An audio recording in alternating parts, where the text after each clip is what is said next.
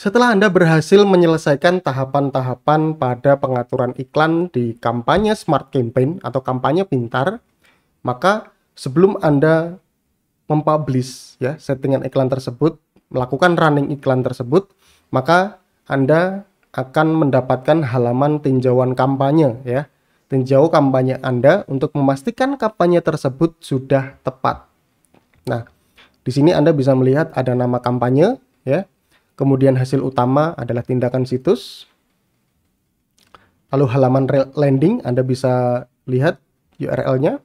Kemudian nama bisnis, lalu teks iklan, kemudian nomor telepon, lokasi, tema kata kunci yang digunakan dan juga anggaran ya.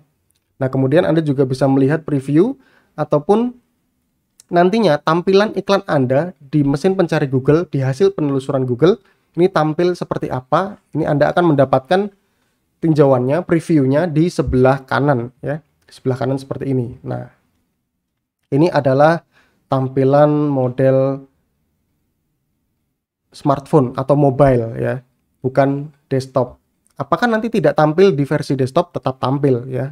Tapi ini kita disajikan hanya dalam bentuk mobile saja.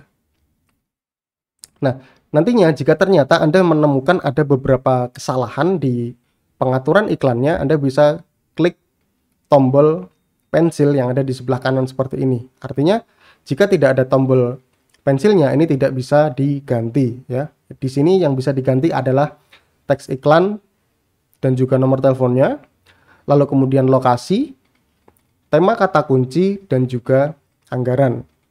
Nah, jika dari halaman tinjauan kampanye ini Anda merasa sudah benar semuanya, ya sesuai dengan keinginan Anda, nah berikutnya Anda bisa tinggal klik ini ya, tombol berikutnya untuk bisa mempublish settingan iklan Anda.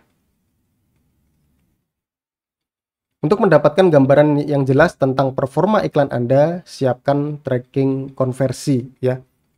Nah, ini akan saya bahas di video yang lain.